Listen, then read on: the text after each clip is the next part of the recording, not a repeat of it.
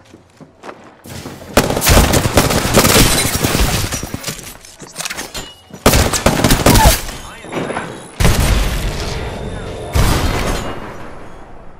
don't consider death cruel, but life